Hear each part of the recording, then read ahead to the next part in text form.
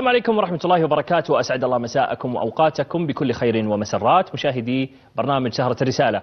دائما عندنا هم وعندنا طموح أن يكون أجسامنا وصحتنا كل يوم أفضل من اليوم اللي قبل. بعد انتشار الثقافة الواسعة بعد تحقيق آه، أو بعد إطلاق رؤية المملكة 2030 حول جودة الحياة وتحسين نمط الحياة الصحي أصبح عندنا الكثير من الفرص والكثير من الأندية والمرافق اللي تساعدنا حتى تكون حياتنا أفضل يوم بعد يوم. لكن ما هي الطرق الصحيحة؟ شلون أبدأ أتمرن؟ من هو المدرب آه الذي أستطيع أن أخذ منه المعلومات الصحيحة؟ كيف أبدأ الحمية؟ هذه كلها والمعلومات اليوم راح نتعرف عليها أكثر مع الكوتش أحمد الشناوي أحد أبرز الممارسين آه، في مجال التدريب الشخصي واللياقة البدنية. اليوم معنا في الاستديو حياك الله كوتش أحمد. حياك الله. كيف حالك؟ الحمد لله. آه، احكي لنا أول شيء بدايتك آه، في هذا المجال وكيف طرقت الباب لأول مرة في حياتك؟ بسم الله الرحمن الرحيم. آه، أنا تقريبا حوالي 16 سنة خبرة في المجال. بداياتي أنا أساسا خريج تربية عام إنجليزي يعني في الأساس مدرس إنجليزي واشتغلت بعد كده كمترجم. وكان بالنسبة لي التمرين مجرد هواية. وفي خلال كده في البدايات بتاعتي زي أي مراهق اتجهت إن أنا شربت سجاير ومشيت شوية في الجزء بتاع التدخين والكلام ده كله. وبعد كده ربنا سبحانه وتعالى ألهمني إن أنا أبطل التدخين. ومع تبطيلي للتدخين بدأت إن أنا أدخل الجيم وأتمرن.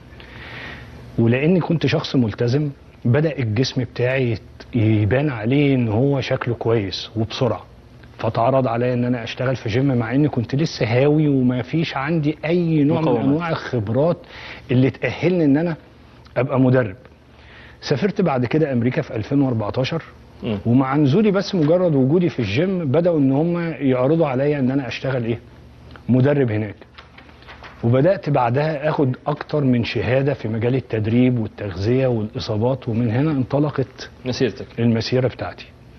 جميل. آه، هل تشعر أنك يوم دخلت هذا المجال أنه طلع فيه آه، رواد كثير له ومهتمين ودائما يسألون عن كيف أتمرن صح آه، إيش النادي المناسب آه، إيش آكل وإيش ما آكل؟ هل الاستفسارات هذه كانت دافع لك أنك تواصل مسيرتك؟ لازم إن إحنا نقول إن طبعا الموضوع بتاع التمرين والجيم في خلال آخر عشر سنين تطور بشكل كبير جدا في العالم العربي وفي العالم بشكل كبير.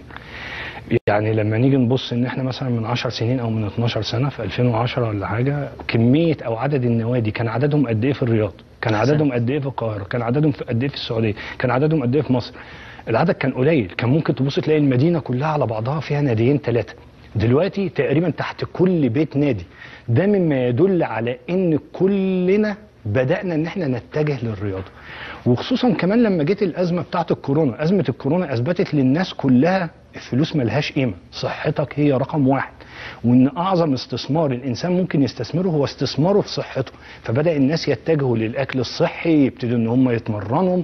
بعض الناس بدأت إنها تجيب أدوات عندها في البيت. بعض الناس عندها إمكانيات أكبر بدأت إنها تعمل جيمات موجودة عندها في البيت. ومعظم الناس بدأت إنها تنزل فعلا النادي وتنزل الجيم وتدور إيه النادي اللي أحسن إيه الرياضة اللي أنسب لي وهكذا. أحسن وحتى جائحة كورونا ترى coach أحمد خلقت تحدي أنه مو التمرين بس في الجيم. مو لازم أروح النادي عشان أتمرن. آه، أنت تقدر تتمرن في البيت بالمعدات مثل ما أنت تفضلت. عشان كده قلت لحضرتك جائحة الكورونا خلت الناس حتى خلقت في ثقافة. البيت تبتدي إنها تعرف إنها تجيب أدوات بسيطة. البعض عنده إمكانيات كبيرة بيبني جيم كامل عنده في البيت أو يجيب بعض الأدوات الكبيرة. والبعض التاني اللي الإمكانيات بتاعته بسيطة بيجيب dumbbells بيجيب resistance band زي دي مثلا وبيبتدي إن هو يتمرن مع ال body weight exercises طيب قبل لا أروح لموضوع الشتاء بسالك سؤال عن موضوع نمط الحياة السريع، الآن كثير منا مو بعضنا عنده مثلا شفتين دوام، شفت صباح وشفت في المساء وقد يتعارض هذا الموضوع مع موضوع الساعات إنه متى أروح النادي، كم الوقت اللي لازم آخذه عشان أتمرن. الآن الحلول وجدت من أجل أن تتكيف مع نمط حياة الناس السريع. ما هو الحد الأقصى للتمارين اسبوعيا وما هو الحد الأدنى اسبوعيا وكذلك بالساعات. طيب خلينا نروح في الحتة دي لأن الجزء ده جزء مهم جدا وبيعتبر اكسكيوز لمعظم الناس. معظم الناس تقول أنا بشتغل مرتين في اليوم بشتغل عندي دوامين. بعض الناس أطباء ودكاترة وطبعا بنعذرهم وناس كتير مسؤولين جدا وقاده ومدراء شركات. بالظبط. فالشغل بتاعه واخد وقته وهو ده أهم حاجة عنده. بس تعالى بقى كده إيه نتكلم بصراحة. ربنا سبحانه وتعالى لما الإنسان بيتوفى بيحاسبه على بعض الأشياء من أهمها السؤال عن صحتك. صح ولا غلط؟ من عمره فيما أفناه. مظبوط. والصحة بتاعتك دي وديتها فين؟ مم. طيب الشخص مننا دلوقتي بيعتبر إن هو الشغل بتاعه مهم وحياته. الأسرية مهمة وكلام من ده. طيب أنت لا قدر الله لا قدر الله حصل لك دلوقتي في أي لحظة من اللحظات تعب وكلنا معرضين لحاجة زي دي؟ صحيح. إيه اللي هيحصل؟ هتروح هتقدر إن أنت تروح الشغل؟ لا هت... غصب عنك هتفضل في البيت وهتقدر إن أنت تفضل قاعد لحد ما تتعالج. صح. لو مش عشان نفسك عشان ما تعديش الآخرين. صحيح. صح ولا غلط؟ صحيح. طيب ده لو شوية برد ولا نزلة بسيطة ولا حاجة زي كده. أمال لو المرض اللي جالك مرض شديد. كوليسترول ولا شيء في القلب. أي شيء خطير. مم. صح؟ إيه اللي هتعمله؟ رقم واحد أنت هتبطل الشغل لحد ما نشوف الموضوع بتاعنا إيه.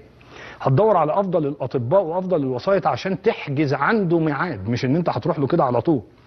وبعد ما تحجز ميعاد هتبتدي تدور على الدواء اللي ممكن ما يبقاش متواجد. صحيح. وممكن تسافر بره. في خلال الفترة دي كلها انت قاعد متعطل. لو انت حسبت الحسبة بتاعتها كده خدت منك كام يوم وكام شهر. اضربهم بقى في الساعات. يعني انت لو انت تعبت لك شهرين ثلاثة اضربهم في ال 24 ساعة. ضاع قد إيه من عمرك؟ إحنا بنطلب منك ساعة. ساعة تدخل فيها الجيم. ثلاث أيام في الأسبوع بالنسبة لك كافيين. لو عندك امرجنسي يعني طارئة خالص خد لك يوم في, ال... في كل 10 أيام. كفو والله. أقل تحافظ على ال muscles. بتاعتك. المهم إن أنت يبقى في activity لازم يبقى في حركة. لو مش قادر تمارس resistance training وتمارين مقاومة على الأقل انزل اتمشى. والده الله يرحمه توفى وهو عنده حاجة و70 سنة لحد ما توفى كان في حركة وفي نشاط ويتمشى. ما كانش يحب ابدا يركب. يتمشى ويتمشى المسافات طويلة. فدائما وابدا الحركة زي ما بنقول الحركه بركة. صحيح. طول ما الإنسان بيتحرك حتى مثلا في ACE American Council on Exercise ودي أحد أكبر الأسوسيشنز في العالم في المجال الرياضي تقول لك حاول تحرك الناس. الهدف بتاعك في النادي ما تشغلش بالك بقى حاول تحرك الناس. keep. people moving. keep people keep people moving طول ما الناس بتتحرك كل ما هتبقى أحسن. بدأت إن أنت تقعد ويحصل خمول بدأ الكرش يطلع بدأ ال back pain يظهر بدأ ال- ال neck pain يظهر بدأت المشاكل كلها تبتدي إنها تظهر عليك. طول ما أنت بتتحرك طول ما أنت نشيط خلاص الدنيا تمام. أحسنت. coach الآن آه، في في في المد... في يعني في في نطاق التدريب آه، أصبح عندنا تحدي التدريب الأونلاين. هو طبعا زين شين زين للي ما عنده. إمكانية أحيانا إنه يشترك في نادي أو ما عنده cost يتحمل تكلفة المدربين أو الأندية رغم إنها الآن أصبحت في متناول الجميع بسبب زيادة العرض على ما يقولون وزيادة الطلب بالتوازي. آه، بس إذا جاني موضوع التدريب الأونلاين إيش تشوف رأيك فيه في الفترة الراهنة؟ مجال التدريب الأونلاين بدأ إن هو يظهر من تقريبا 2011 2012 مم. خلاص خصوصا بالنسبة لنا في العالم العربي وبدأ إن هو يزيد واحدة في واحدة. خلينا نقول إن إحنا عندنا دلوقتي طريقين في التدريب الأونلاين وفي التدريب اللي هو ال PT أو التدريب الشخصي. جميل. آه، بالنسبة للتدريب الأونلاين وفي جزء منه اللي هو ال applications لأن بعض الناس بتتمرن تدريب أونلاين مع أشخاص أو مدربين وبعضهم بيتمرنوا تدريب أونلاين مع application يشتري application أو يعمل آه، task ات يعطيه. يديله task ات يديله تمارين معينة ويبتدي إن هو يعملها. في رأيي الشخصي ممكن إن أنت تتمرن أونلاين بس بشرط لازم تبقى عارف أساسيات. الأساسيات بتاعت التمرين إيه صح ما يبقاش شخص ما يعرفش يعمل تمارين ما عندوش biomechanic ما بيعرفش يعمل kinesiology أداؤه للتمارين أصلا خطأ. لسه ما بدأش لسه الراجل ما يعرفش أي حاجة. ويبتدي يتمرن مع واحد اونلاين الراجل اللي بيمرنك اونلاين دلوقتي مع احترامي الشديد ليه هو راجل خبرة أو واحدة خبرة بتمرنكم اونلاين عملت لك التمارين وممكن كمان تكون بعت ليها link ات وفيديوهات تتفرج عليها وتحاول تقلدها أنا بشوف ناس وأنا بمرن ال clients بتوعي في النادي فاتح ال application وبيبص عليه قدامه وبيأدي نفس التمرين وبرضه غلط. أوه. لأنه هو تكنيك. مش فاهم التكنيك. صح. هو مش. عارف العضلة المستهدفة دي مش قادر. يحسها. فالموضوع محتاج منك على الأقل الأول تفهم أساسيات التمرين. بعد كده؟ انطلق. بعد كده انطلق. حد لحضرتك برضو مثال بسيط عليه. إحنا عايزين ندي مثال إن مثلا الجسم البشري ده اعتبره العربية الخاصة بتاعتك. عربيتك ايا كان نوعها أكيد غاليه عليك. لو حصل فيها أي عطب بتعمل إيه؟ وديها لأفضل آه، مكان صيانة أو ميكانيكي. طيب خلينا واقعيين. لا أنت لو العطب ده بتفهم فيه هتصلحها بنفسك. بيدك صح. مظبوط. لو ال experience بتاعتك قبل كده كويس م- كويسة في حاجة بسيطة أو حتى كبيرة حسب ال experience بتاعتك هتعالجها مش هتوديها لحد. لكن لو هي أكبر من قدراتك هتوديها لأفضل مكان حسب إمكانياتك يصلحها. صحيح. نجرب بقى في جسمنا وإحنا ما بنجربش في العربيات. صحيح. الواحد جوالك بعد ليش رايح العربية؟ صح. ولا أنا غلطان؟ صح ما يبتدي. الواحد بقى ينزل الجيم يبتدي إن هو يجرب. على فكرة أهم حاجة لما تخش النادي قبل ما تفكر في تطور جسمك وتحقيق أهدافك تلافي الإصابات. ناس كتير جدا بتخش النادي وتتصاب. اتصاب ليه؟ لأنه لعب غلط. أو ممكن الحماس شاله الإيجو ايا يكن المهم الإيجو دي لما حصلت خليته إنه يتمرن غلط. الأسباب اللي خليته في الآخر يأدي exercise بشكل غلط. غلط صح؟ صحيح. فأنت إزاي تتلافى الكلام ده كله؟ يبقى نمرة واحد في الأول لازم تتعلم أساسيات. أنا عندي عتب على بعض الأندية ولا خص بالاسم. يعني أحيانا يخلوك تشترك تدخل. أول يوم بس ال coach ياخذك tour يقول لك ترى هنا الجهاز تسوي كذا هنا تسوي كذا. وهو طبعا مشغول مع عدد كبير من المشتركين. فأنت تبدأ تتمرن. تشعر أنهم قاعدين يدفعونك أنه روح لل PT اللي هو أو عفوا التدريب الشخصي عشان ياخذ منك cost إضافي. كيف ممكن الأندية تتلافى هذا الأمر؟ وكيف المتدرب ما يقع في فخ الاحتياج؟ أنا أحتاج PT ولا هو نوع من الترف والكماليات والجمال أنه أنا والله جايني واحد مدرب شخصي وقاعد أتمرن. كيف أعرف أنه أنا محتاجة وما هو دور الأندية في تحفيز المدربين أنه ي- يملك المعرفة للمشترك؟ طيب أنا في النقطة دي اسمح لي إن أنا هذكر مثال بال... بالاسم. يا خلاص سلام تفضل بالعكس. في مثلا أندية فتنس تايم وقت اللياقة. عاملة ال category بتاعها بتحاول تجذب أكبر عدد وأكبر قدر من الناس. فعلا بتحاول تطبق المنظومة الغني الفقير اللي معاه اللي ما معهوش عايزة أي ناس الرياضة. لازم تخش تمارس الرياضة. نمرة واحد عملت جميع ال categories بتاعه الأندية بتاعتها من أسعار مختلفة. أندية إكسبريس فروع صفراء جميع الفئات. وفئات orange اللي هي ال pro. عملت سيدات عملت رجال اللي هم ال FT اللي هو الأحمر. عملت. السوبر أعلى حاجة اللي هي ال VIP اللي هو ال plus. بحيث إنها تاخد كل الطبقات وكل الناس يبقى عندها احتياجاتها. أنت يا دوب عايز dumbbells وعايز الات وكلهم على احدث صيحه وأجهزة تكنو سواء في أقل جيم لأعلى جيم ده نمرة واحد. جميل. نمرة اتنين حضرتك بتخش النادي في واحد يقدر على تكلفة التدريب الشخصي. هذه وفي واحد تاني ما يقدرش. من أول ما بتدخل النادي انديه الأندية عندنا موفرة. مدرب موجود في السباحة. مدربين فلور موجودين في جميع ال- الصالات. الصالات. بحيث إن أنت لما بتدخل الإنبادي موجود جهاز الإنبادي عشان موجود تعرف وزنك والسوائل مجانا ما بيتعملش عليه فلوس. إن شاء الله تدخل كل يوم مرتين. محدش بيتكلم معاك. تعمل الانبادي وبتدخل للمدرب بتاع الصالة تسأله على توجيهات. لكن طبعا ما راح يعطيك مدرب. كله بالظبط فأنت. بتسأل بتسأله أعمل إيه النهارده؟ بيقول لك كذا. الجهاز ده بيشتغل إزاي؟ بيقول لك كذا. حتى لو معاك program من واحد أونلاين أو معاك application بتقول له التمرينة دي أعملها إزاي؟ برضه بيقول لك تعملها إزاي؟ أحسنت. فالنادي موفر لك كل الكلام ده عشان ما يبقاش عندك حجة. وبرضه في نفس الوقت عامل لك حاجة ب cost خفيف خالص بدأنا فيها في الفترة اللي فاتت. ثلاث حصص بمبلغ رمزي إن هو يديك فيهم برضه ال mechanism ويحطك على الأساسيات. عشان تنطلق. عشان تنطلق. يبقى هو كده عمل معاك كل حاجة. احسنت أنا بعض الانديه اللي أتكلم عنهم أنا عن واقع تجربة.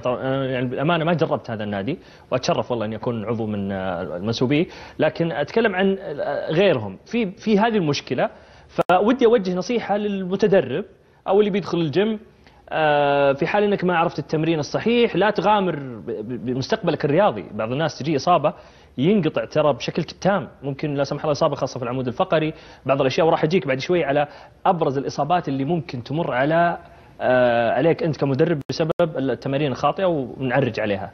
فأنا هذه ال point أنا ودي أوجه رسالة آه، إيش الطريقة الصحيحة آه، مع مين ممكن تأخذ التدريب حقك وما إلى ذلك. رأيي إنك أنت ما تجربش. جسمك مش محتاج إنك أنت تجرب فيه. ادخل وأنت فاهم أنت بتعمل إيه. ثانيا أنت لما تخش النادي ال priority والأولوية بتاعتك هي لتمارين المقاومة. أنا بشوف ناس كتير جدا أول ما. بتدخل الجيم متجه لل cardio ويبتدي يقول لي أصل أنا هقعد أسبوع أو شهر أو شهرين عشان أعمل تمارين cardio. cardio عشان أكتسب لياقة. cardio اللي هو الهوائية. بالظبط. لا أنت دلوقتي الأولوية القصوى بتاعتك هي المقاومة. تمارين المقاومة. ليه؟ حضرتك دلوقتي لو انت عايز ان انت تقارن ما بين تمارين المقاومة وتمارين ال cardio خلاص. طبعا تمارين ال cardio مهمة جدا. في ناس تقول لك عضلة القلب ملهاش تمرين. لا تمارين ال cardio هي تمارين لعضلة القلب. فانت بتخش تمرن ال respiratory system وتجهز جهازك التنفسي ان هو يبقى أفضل. بتحرق دهون في نفس اللحظة. طيب instantly انت حرقت هذه الدهون نزلت من على الجهاز. إيه اللي حصل؟ stopped مظبوط؟ طب نيجي بقى نبص على تمارين المقاومة. نمرة واحد انت خلال التمارين حرقت دهون. صحيح بكمية أقل ولكن بعد حرق هذه الدهون جسمك أو ال tissues بتاعة الأنسجة العضلية بتبتدي إنها تتقطع بتقطع بسيط كده خالص يحصل فيها تلف. انت لما بتاكل يبتدي ربنا سبحانه وتعالى يخلي استشفاء. الأنسجة تي يحصل الاستشفاء فتكون أنسجة أكبر فيحصل النمو العضلي الكلام ده كله بيستهلك منك سعرات حرارية رهيبة على مدار الفترة اللي أنت قاعد فيها دي وما بتتمرنش يبقى أنت في فترة التمرين بتحرق وفي فترة الريست برضه بتحرق طيب لو أنت واحد دلوقتي بدين وبتخسر وزن الدهون دي ضغطة على الجلد بتاعك صح ولا غلط اترهل. لما تخسرها إيه اللي هيحصل؟ هيحصل ترهل. يبقى أنت لازم دلوقتي وأنت بتنزل في الدهون تنشف. تكتسب عضلات. مم. فالعضلات دي العضلة حجمها أصغر حجمها أكبر من الدهن من الدهون ولكن وزنها أقل. فوأنت بتخسر لك 5 كيلو دهون جميل جدا تكتسب لك 500 جرام muscles فيفضل الجلد بتاعك مشدود وشكلك كويس. غير كده مين اللي بيحب إن هو يخسر الوزن بتاعه في نفس الوقت يبقى شكله هزيل؟ لا عايز مريض. شكلك بالظبط. فده كله هيتم إزاي؟ عن طريق مدرب. تمارين المقاومة. صح والمدرب لازم يوزن معاك ال- حتة المدرب دي إحنا لازم نقول لكل الناس أنت مش لازم إن أنت يبقى معاك مدرب المهم تبقى فاهم. يا سلام عليك. أهم حاجة تبقى فاهم. مش لازم إن أنت تروح للكابتن أحمد الشناوي عشان هو يمرنك. لا روح اقرأ روح افهم. لكن من غير فهم ومن غير قراية ومن غير أي حاجة أنت غالبا كده هتضر إيه نفسك؟ روح بقى اذا على الرياضة اللي تتناسب معاك وما تضركش. علما بإن الجيم مفيش واحد بيمارس أي نوع من أنواع الرياضة إلا لازم يروح الجيم. لعيب الكورة بيروح الجيم. لعيب التنس بيروح الجيم. لعيب الاسكواش لعيب الجمباز أي لعيب لازم يروح الجيم عشان يقوي عضلاته ويزود ال endurance بتاعه كل واحد حسب. برنامجه. بس لازم يروح الجيم. صحيح. أحسنت. آه، coach أحمد الآن فترة ال- الصباح تحديدا.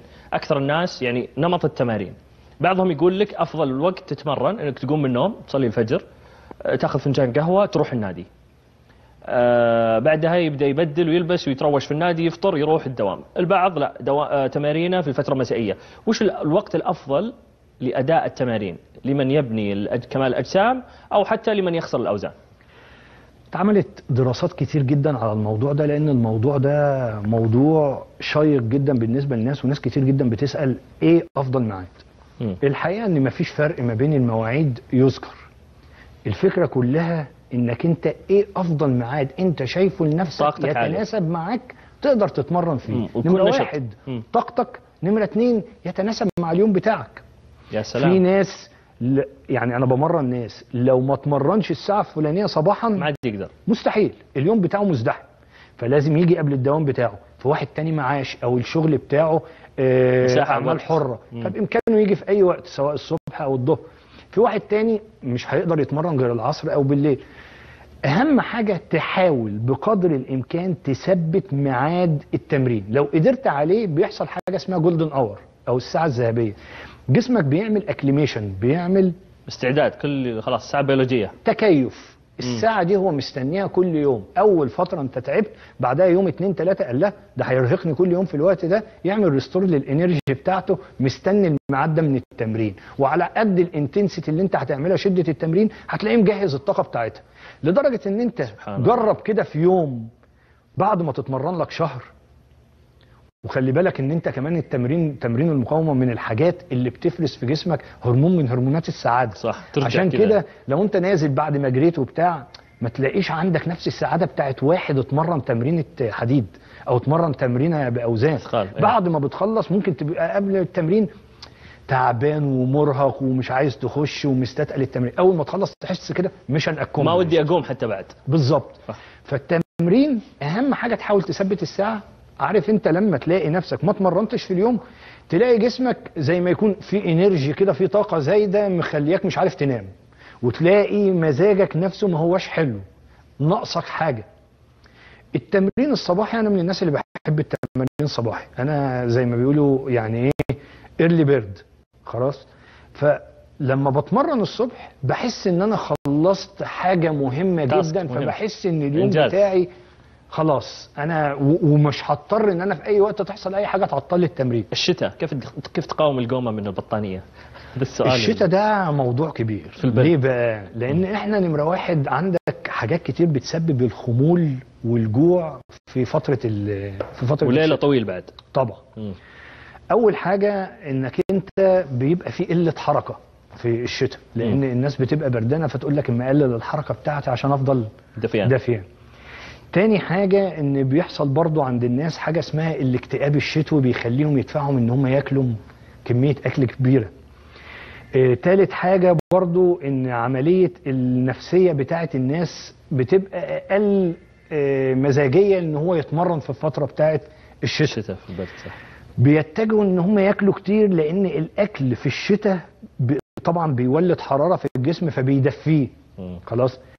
فعشان نتجنب الكلام ده كله رقم واحد لازم تمارس رياضة أو تبتدي إن أنت تحرك جسمك وبالتالي ما تزيدش في الوزن وبالتالي تبعد عن الكسل وبالتالي تقدر إن أنت تحافظ على النشاط بتاعك. جنب كده في ناس كتير في الشتاء ما بيشربوش مية كتير. على إنه ما يشعر بالعطش خلينا ناخذ رشفه مويه عشان ندخل بعد شوي بالظبط. على الأجهزة اللي أنت جايبها أو ال dumbbells هذه تشرح لنا إيش قصتها. بإذن الله. جميل. أنت وش تبي تشرح لنا بال dumbbells هذه؟ أنا ممكن المحور هذا بس عشان أبغى أستفيد منك صراحة. أنت ما شاء الله معلوماتك جدا جميلة. توصيلك الرسالة سهل وجميل. ومن واقع تجربة كبيرة جدا الكل يحتاج آه، يستفيد منك في هذه اللحظة. وش عندنا اليوم بال dumbbells هذه؟ وش تبي وش تبي تقدم لنا فيها؟ أنا عايز إن أنا النهارده مثلا قبل ما أتكلم على ال dumbbells وال resistance band عايز أروح للجزء اللي حضرتك اتكلمت فيه عن حتة الإصابات. وبالتالي وأنا بعمل تمرين بسيط كده هدي مثال بسيط عن يعني تقوية عضلات مهمة في الجسم بتاعنا بتتعرض لإصابات كتير. جميل. طبعاً وين أكثر المناطق اللي تتعرض للإصابات عندنا؟ أي جزء في الجسم هو عرضة للإصابة لكن أكتر جزء معرض للإصابة في النادي أو في الجيم هو الكتف. أوه. يعني في ناس بتتصاب في كتفها وهي نايمة يتقلب وهو نايم يقوم يلاقي السرير. كتف. يقوم يلاقي كتف وجهه. معظم الناس هتلاقي الكتف. صح. بعدها طبعا تلقى أحيانا كتف أضعف من الثاني. أحيانا بعض ال imbalance التمارين. إحنا بنقول عليه imbalanced muscle إحنا طبعا كل واحد فينا ربنا خلقه في عنده شق أيمن وشق أيسر بالنسبة للمخيخ. فمفيش حد فينا عنده الطرف الأيمن زي الطرف الأيسر من حيث القوة آه. ومن حيث الشكل. ولكن إحنا بنحاول إن إحنا نخلي الفروق ما بينهم فروق غير ملحوظه. تمام؟ فالكتف هو من أكتر أماكن إصابة. اكترها خلاص؟ يجي بعدها طبعا ال back. bone ال spine تمام؟ وال knees. تمام؟ الركب. فاحنا في عندنا عضلات كتف طبعا عبارة عن عضلة من ثلاث رؤوس ال anterior اللي هو الأمامية وال lateral اللي هي الجانبية وال posterior اللي هي الخلفية في عندنا مجموعة تانية من العضلات اسمها ال rotator cuff موجودة بشكل آه تحت العضلات دي شكل. غير مرئي معظم الناس ما بتهتمش بيها وما بتقدرش إنها تعمل لها support كويس. لو هي عملت لها support كويس هتعزز العضلة اللي فوق. هتعزز العضلة اللي فوق مم. وهتقويها. زائد إن هم يهتموا طبعا بال mobility بتاعتهم بالنسبة لتمارين ال- الكتف. الكتف. مثلا ال resistance band ده خلاص أو الكيبل اللي بيبقى موجود في النادي. بالظبط. بيبقى متثبت كده. يقدر إن المتدرب قبل ما يبتدي التدريب لازم يمسك الكيبل أو ال resistance band اللي موجود عنده طبعا بتبقى متثبتة في الجهاز بتاع ال cable cross ويبتدي إن هو ياخدها أول بإيده اليمين مثلا كده ويبتدي يعمل external rotation لبره وهو مثبت الكوع بتاعه مم. يخلي بس الكيبل أو الحبل على ثابت. نفس المستوى بتاع الكوع الثاني بتاعه مم. وبعد كده هيبتدي إن هو يعكسها وياخدها الناحية الثانية بإيده اليسرى. ويبتدي إن هو يسحبها برضه اليسار. لبره. خلاص external rotation وبعد كده يعمل الكيبل لجوه internal rotation تمام؟ يسحب كذا سحب. لجوه. مم. خلاص؟ يعني بدل ما هو كان خارجي. يسحب كده بشكل لبره يبتدي إن هو يسحبه بشكل لجوه. آه. تمام؟ وممكن إن هو يعمل برضه في نفس التمرين ياخد حاجة زي دي كده. خلاص يخليه أعلى شوية ويبتدي إن هو يسحبه لورا وياخدها بشكل خلفي أمامي وخلفي بحيث إن هو كل ده بيعزز له العضلات بتاعة ال rotator ال rotator cuff. جميل. ولما هيعزز العضلات بتاعة ال rotator cuff سواء كان عنده إصابة سابقة مش هيحصل له انتكاسة ولو كتفه قوي هيبقى أقوى ولو كتفه متوسط القوة ولا أي حاجة برضو ده هيعزز له القوة بتاعتها. فلازم يهتم بحاجة زي دي. زائد إن هو لازم إن كل واحد فينا قبل ما يبتدي التمرين تسخين. يهتم بال steps. إيه هي ال steps بتاعتنا في التمرين؟ رقم واحد أنت دخلت النادي دلوقتي أول حاجة هتبتدي إن أنت تسخن ال respiratory system بتاعك عن طريق ال cardio. هتخش من خمس دقائق ل 15 دقيقة maximum ايا يكن بقى ال cardio بتاعك دخلت على ال treadmill دخلت على ال bike دخلت على ال elliptical دخلت نطيت الحبل شوية اتمشيت في المضمار what النادي بيبقى موفر لك كل الكلام ده.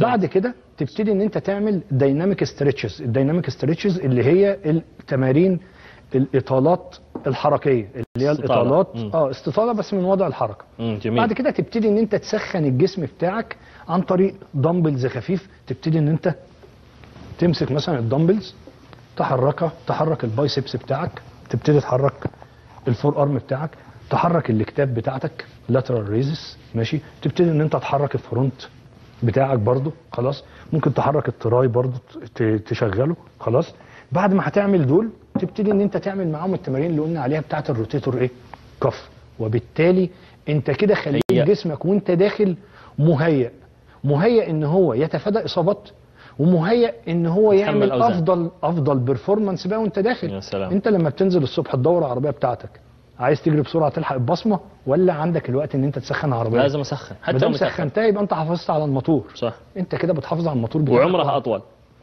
فأنت كده بتخش التمرين تتفادى الإصابات مش تخش بقى مستعجل تبتدي تخش تتمرن على طول.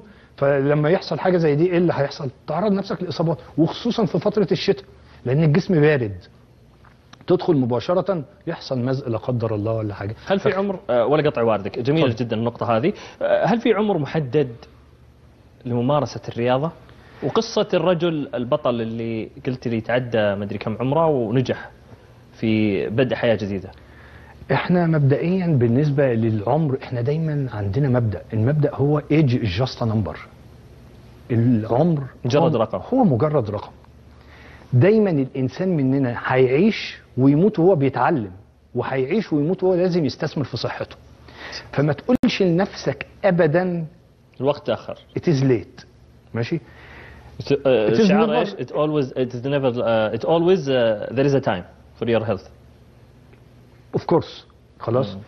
أنا دلوقتي آه، اللي أنا عايز أقوله معظم الأبحاث حاليا بدأت إنها تشتغل على ال longevity مم. لو حضرتك واخد بالك الناس من زمان ودايما الأفلام تتكلم عن إيه؟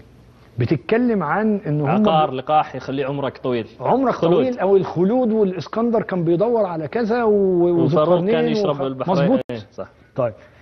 دلوقتي الناس بدأت إنها تفوق للموضوع ده وبدأت إنها تعمل أبحاث عن ال longevity. ال longevity اللي هي إن الإنسان مهما مش إن هو مجرد يتقدم في العمر وإنما يتقدم في العمر وهو محافظ. على صحته. مم. لأن انت مش هتستفيد حاجة وانت عندك 90 سنة ولا 80 سنة بس نايم في السرير. من فين؟ الأد- من فين؟ ده انت أحسنت. ومن فانت ده انت عايز حد يعني يقول لك استريح. صح ولا غلط؟ أحسنت. ومن, آه، ومن الأدعية الواردة حتى نستذكر يعني هذا الأمر. آه، متعنا اللهم بأسماعنا وأبصارنا وقواتنا ابدا ما أبقيتنا. اللهم آمين يا رب. واجعله الوارث منا. مظبوط. فهذه. يدل على حتى في السنة النبوية تحرص أنه أنت يكون عمرك طويل وصحتك البدنية جيدة وممتازة. بالظبط فاللي بنقدر إن إحنا نعمله إن الرياضة مع الأكل الصحي اثبتوا إن هم أكتر حاجة تقدر إنها تديك long life long life life also. ب health. ب health ويعني لو ادينا أمثلة على حاجات زي دي قصة لما- الشايب اللي قلت لي عليه في معايا حاليا متدرب بسم الله ما شاء الله عليه. يعني الراجل عنده حاجة و80 سنة. وبسم الله ما شاء الله يعني أنا يعني بعامله معاملة أنا طبعا بعمل كل ال clients بتاعتي معاملة كويسة لكن الراجل ده ليه في قلبي مكانة خاصة. مكانة خاصة يعني بيفكرني بوالدي الله يرحمه وفي نفس الوقت هو شخص مرموق ومتواضع شغوف. جدا جدا جدا وشغوف جدا بالرياضة. أول ما جالي كان غير مفصل في الركبة بقاله فترة قصيره كذا شهر ومفصل الركبة الثاني من كذا سنة. فهو محتاج مساعدة حتى في المشي. بدأنا إن إحنا نتمرن ونشتغل وكلام من ده والحمد لله وصل لمستوى ممتاز. سافر بره لندن. فلما وصل في السفر بتاعه هناك وكده جت له جلطة. فضل قاعد لمدة شهر وبعد الشهر ده رجع هنا الرياض. ولما رجع شوية كده ولقيته جاي لي النادي. فطبعا الجلطة مأثرة على الجنب اليمين تأثير قوي. لكن أنا عايز أقول لحضرتك إن الراجل ده إرادة. اولا إرادة حديدية. آه، قبل إرادة حديدية وقبل أي حاجة آه، إيمان بالله. يا سلام. يعني الرياضة والكلام ده كله إحنا بنتكلم في جزء لكن أسباب. مم. طبعا طبعا. الراجل ده عنده إيمان بربنا يعني درس. خلاص؟ جنب كده الراجل بسم الله ما شاء الله شخص رياضي. ممكن يكون الاوارنس بتاعه عن الرياضة ما يعرفش التمارين لكن البنية حقته. همارس الرياضة. أنا هجيب مدرب شخصي أنا هجيب كذا هنزل أتمرن هنزل أتمشى وبيحب جدا المسبح. تحس إن الحياة بتاعته مرتبطة. بهذا الجزء. جميل والله. ففي فتره قصيرة بسم الله ما شاء الله عاد أحسن من الأول. وأثار الجلطة والركب كله راح. عايز أقول لحضرتك إن في ناس أصغر منه في الستينات أو في الخمسينات لو حصل لها اللي حصل ل- ما للحاج تحمل جسمه. it's the end اما يوم مقعد أو خلاص ودع. it's end ما, ما خلاص الموضوع انتهى. لكن الحياة الصحية وعيلته الجميلة اللي محوطة عليه و... والأبناء البررة و... و... وأكيد الراجل ده فيه حاجات لله. صالح صح. أكيد فيه حاجات لله. خلاص بس بقول لحضرتك ربنا بيسبب الأسباب. خذ بالسبب واجتهد. بالظبط. ربنا سبحانه وتعالى بيسبب الأسباب. هذه قصة من اللي أعمارهم 80 أبي قصة للشباب الصغار اللي ممكن جاك وهو بدين أو وزنه أوفرلود كيف في قصة تذكرها؟ جالي في مرة من المرات إحنا طبعا يعني آه، الأعمار بالنسبة لنا أقل حاجة بيبقى سن 16 سنة. بالنسبة للتمرين في النادي بحيث إن هو يبقى عنده الأرنس الكافي والجسم بتاعه قوي إن. هو يقدر إن مم. هو يتمرن. في في مرة جالي ولد وهو زي ما تقول إيه يعني مش جاي وبإرادته. لأن التدريب في ال- الأعمار اللي هي بتاعت المراهقين بيبقى صعب لأن الطفل يعني مش يبغى. حريته يبغى ياكل وفي نفس الوقت. الشخصية لسه ما اتكونتش وبيعدي بفترة مراهقة وممكن يحصل فيه كذب عدم التزام مش. عارف إيه مم. هو جاي وأنا مستشف منه من أول يوم مغصوب مغصوب روح لكن هو عايز الطريق السهل هو عايز يعمل تكميم هو واخد القصة. تراني يومين- جربت إيه. يومين أهو أنا عملت اللي عليا وما مشيتش فهروح تكميم. قلت له طيب أنا عايزك بس تديني ثلاث شهور. مم. نتمرن سوا. وبعد كده قرر. اعمل اللي أنت عايزه. لو الثلاث شهور دول التزمت معايا وما نزلتش وما ظبطتش نفسك طبعا أنا عارف إن هو مش هيستنى معايا ثلاث شهور فلازم من أول شهر الشخص ده يشوف شوف إن فرق يشوف جزء جزء بسيط كده يعني حلاوة. عايز تدوقه. حلاوة الموضوع سنت الشهر جاب الثلاث شهور والثلاث شهور جابوا الست شهور والست شهور جابوا السنة والولد ده بسم الله ما شاء الله دلوقتي هو عنده. دلوقتي 23 سنة ولا حاجة بطل ودخل بطولات. يعني عايز أقول لك لو حد شاف جسمه قبل كده مستحيل يقول إن ده يوصل للمكان ده الإصرار والعزيمة والعلاقة ما بين المدرب والمتدرب. أنت ممكن تدخل النادي النهارده لأول مرة في حياتك زي برضو المدرس كده ممكن يكرهك في مادة وممكن يحببك في المادة. نفس الموضوع بالنسبة للمدرب. ممكن أنت تبقى بتروح النادي بس عشان تقابل المدرب بتاعك أو علاقتك بالمدرب بتاعك. على فكرة الكلام ده مش في الجيم بس ممكن يكون ابنك أنت بتمرنه جمباز أو بتعلمه سباحة. فشخصية المدرب لازم تبقى فيها قدوة. لازم يبقى فيها توجيه لازم يبقى فيه علاقة كويسة ما بينه وما بين المتدرب تساعده في إن هو يستمر. ويحب ال- الرياضة اللي هو يسويها. من خلاله طبعا. أحسنت. آه ال six pack coach أحمد. تحدي بعض الناس بدأ يسوي عمليات عشانها. في بعضهم يقول لك النحت في بعضهم يقول لك الليزر في بعضهم يقول لك هذه مستحيل تصلها إذا عمرك تعدى العمر الفلاني العضله صار لها شكل. نورنا عن هذا الجانب. طيب أنا وأنا داخل في الجانب ده أنا كنت عايز أتكلم عن جزئية صغيرة قوي. امم تفضل منتشرة هنا واتكلمت عنها في في القصة بتاعت الشاب اللي كان بيتمرن معايا. بس الانتشار بتاعها كبير جدا في خلال الفترة دي اللي هي عمليات التكميم. مم. وبعض الناس بياخدوها بالنسبة لهم كتجارة. حل سهل وسريع. الطرف اللي بيعملها آه. بيعتبرها تجارة والطرف اللي اللي اللي هتتعمل له العملية الحل السهل. هو مش حل سهل ولا حاجة. المعدة دي عاملة زي بالونة. كل ما بتاكل أكتر كل ما بتسترتش وبتكبر. كل ما هتاكل أقل كل ما هتلاقيها بدأت تتقلص. فأنت المعدة بتاعه الشخص كبرت. فهو يجي يبتدي إن هو يقول أنا هقص المعدة أو أعمل لها تكميم هتبقى قد موزة كده حاجة صغيرة. كبسيتي الصغير بالظبط. لما بيعمل كده طبعا حاجة زي دي بيبقى ليها آثار كتيرة جانبية بتأثر عليه زي قيء زي إن هو بيبقى تعبان في الأول فتيج ونسبة 10% من الناس اللي عاملين تكميم بيبقوا صحيين أو هيلسي فيما بعد. خلاص؟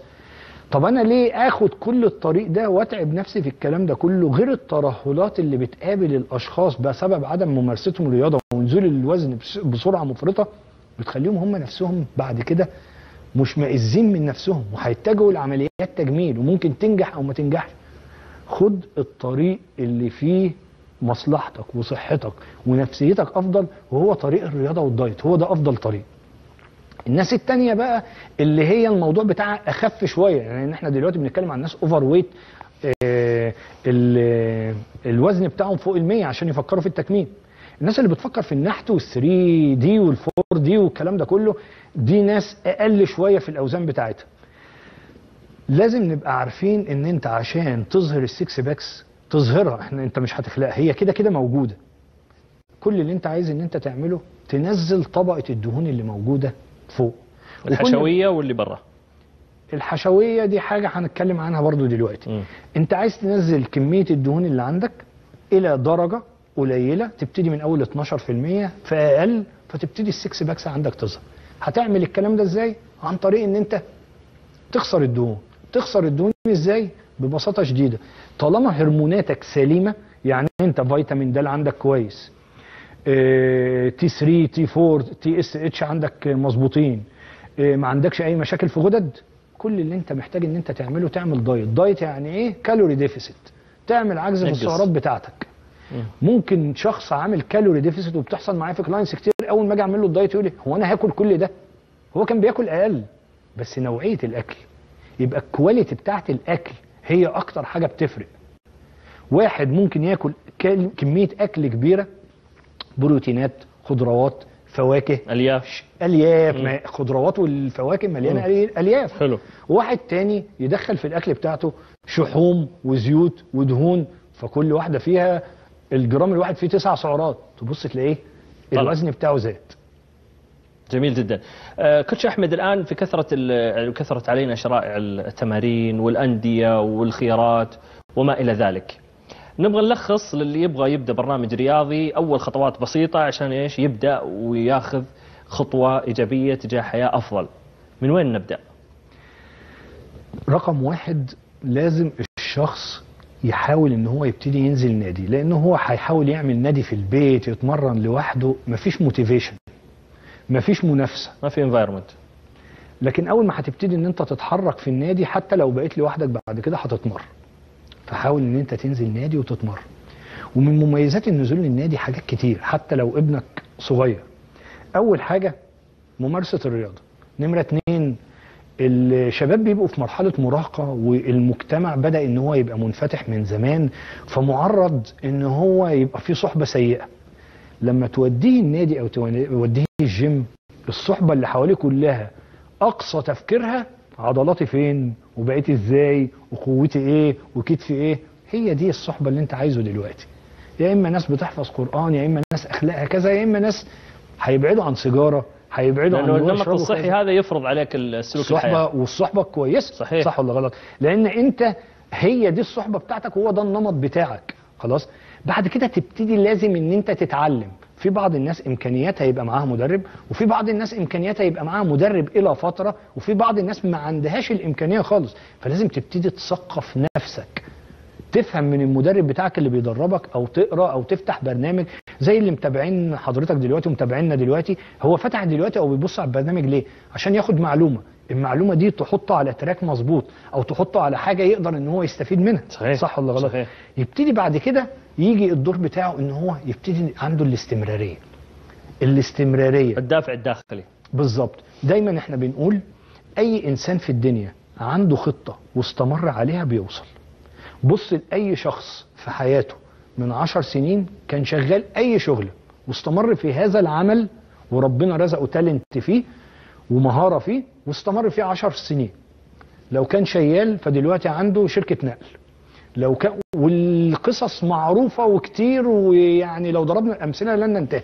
فأي شخص هيستثمر في صحته ويكمل فيها حتى لو بدأ في الأربعين حتى لو بدأ في الخمسين بعد فترة هيكتشف إن صحته بقت أحسن من كل الفترة اللي عدت في حياته قبل كده. جميل.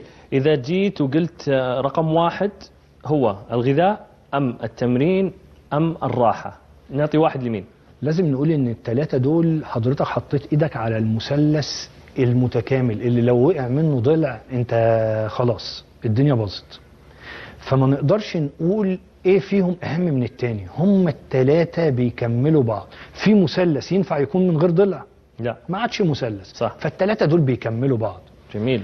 مفيش واحد هيقدر إن هو يبني شكل جسم قوي وشكل جسم كويس ومتناسق من غير ما يمارس رياضة. صحيح. ومش هتقدر إن أنت تكتسب عضلات أو تخسر دهون من غير ما تظبط الأكل بتاعك. جميل. ومش هتقدر تمارس الرياضة أساسا ومزاجك يبقى كويس من غير ما تنام كويس والراحة بتاعتك تبقى كويسة. فالثلاثه مكملين لبعض. بيكملوا لبعض. جميل. طيب آه، الجداول الغذائية. آه، فترة الشتاء يزيد عندي الشهية ودي آكل أكثر. آه، الحركة تقل. إيش الوجبات أو الوصفات اللي تساعد إني أشبع؟ ويعني ما أشعر بالجوع؟ وتحافظ على سعراتي الحرارية وجسم صحي بشكل عام. إحنا طبعا مفيش حاجة اسمها diet شتوي و diet آه، صيفي. دي مش زي الملابس. أحسنت. ولكن أنت لازم إن أنت تبقى عارف جسمك هو متطلب إيه. أنت لو عايز إن أنت خلال الفترة دي تكتسب. تخس فأنت هتعمل calorie deficit أو مم. عجز في السعرات. لو عايز تزيد في الوزن هتعمل calorie surplus يعني فائض في السعرات الحرارية بتاعتك. مم. دايما بنقول إن إن الجوع عدو ال diet. يعني لازم خلال ال diet بتاعك تبقى شبعان. ولازم تحاول تغير نمط الأكل بتاعك إلى آه، lifestyle بدائل. بمعنى لا lifestyle يعني في ناس بتمشي في ال diet وحاطاه في حساباتها أنا هخس بيه 4 كيلو 5 كيلو. طب بعد كده هيحصل انتكاسة. لأن الفترة بالنسبة له دي هو بيعتبرها فترة علاجية. طب بعد ما تخلص هينتكس. فأنت حاول إن أنت تاخد ال diet المرن ال flexible مش لازم يبقى الأكل بتاعك 100% healthy ممكن 70% healthy 30% unhealthy ممكن تدخل cheat meal كل أسبوع وبالتالي تقدر تستمر عليه. وبعد ما توصل لل target بتاعك تفضل مستمر عليه لأنك دخلت في lifestyle أو أسلوب. واستمتعت فيه أنت حسيت بالتغيير في حياتك. لأن دي شهوة أنت المفروض إن أنت ما تحرمش نفسك منها. صح. واخد بال حضرتك؟ فلما نوصل لنقطة زي دي هتقدر إن أنت تحقق الهدف بتاعك وتقدر تحافظ على الحق على الهدف اللي انت حققته. آه، كسر الأوزان. البعض يقول لك أنا لي فترة أتمرن والعضلة ما تزيد عندي أو العضلة ما عاد تستجيب. إيش التكنيكات المستخدمة؟ ببساطة شديدة هو بيتمرن غلط. هو ما قدرش يكسر. إحنا عندنا حاجة مبدأ في مب- مبادئ التمرين اسمه progressive overload خلاص؟ ال progressive overload يعني إن أنت لازم كل فترة تزود الحمل البدني اللي أنت بتتمرن بيه. طب ال progressive overload ده بتزوده إزاي؟ هل هو مجرد أوزان؟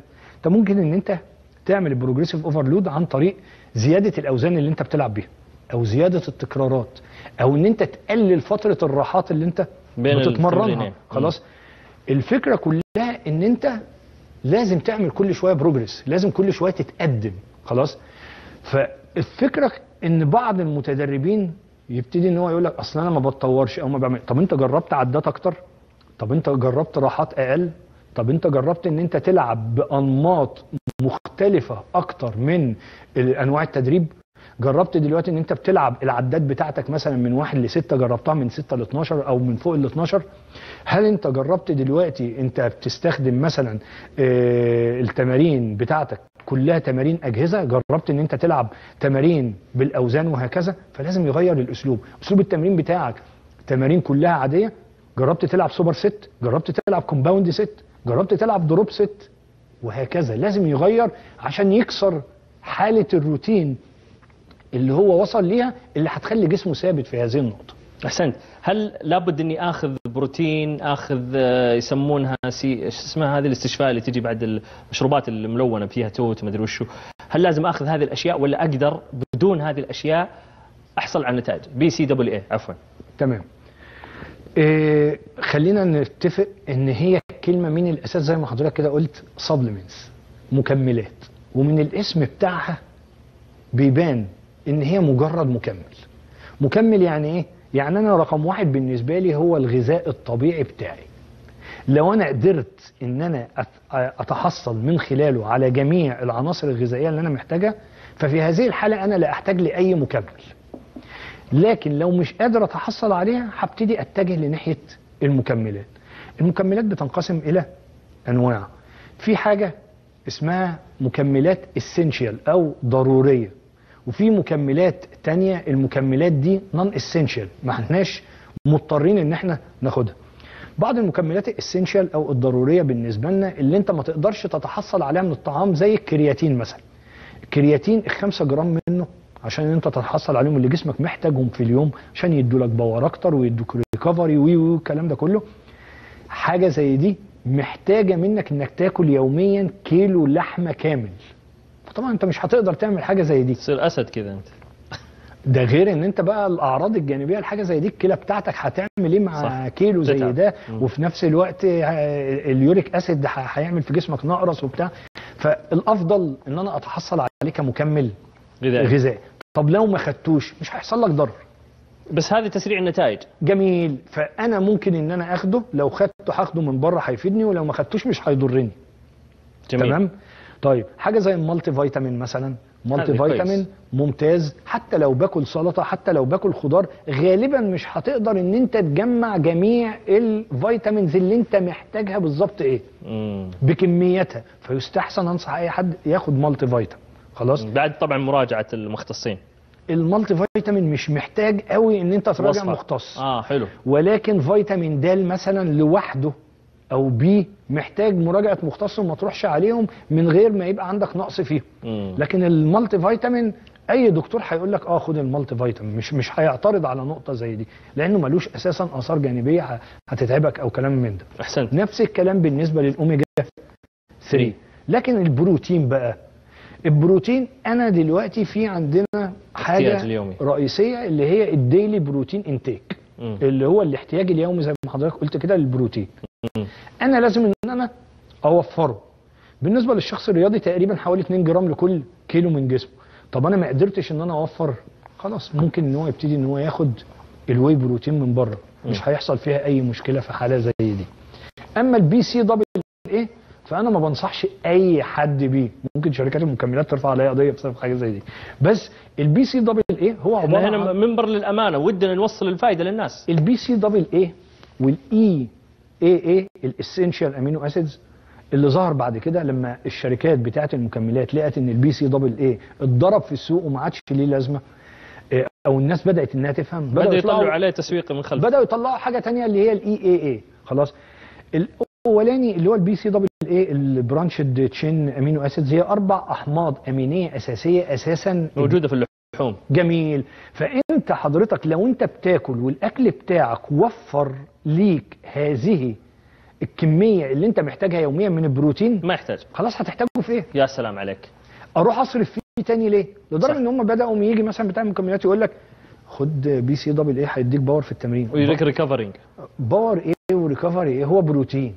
زيه زي أي بروتين أنا باخده. ما فرقش فيه أي حاجة.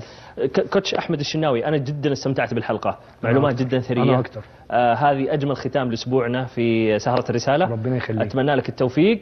وفي الختام الدولة أتاحت الفرصة للجميع عبر المرافق الرياضية المجانية والخاصة بأسعار رمزية ومميزة.